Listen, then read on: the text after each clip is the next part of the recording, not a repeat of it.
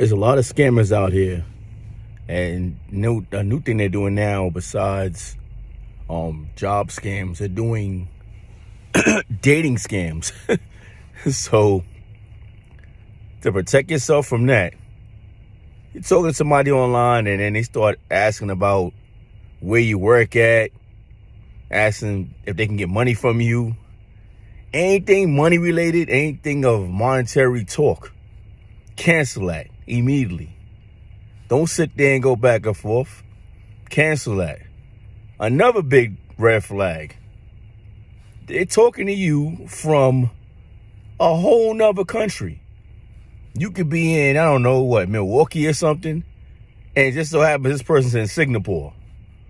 What in the world would somebody in Singapore have to do with somebody in Milwaukee? Are you ever gonna even see this person? Like, are they really gonna get on a flight and come to America just to see you for the first time? Use your brain on that one. Just think about that.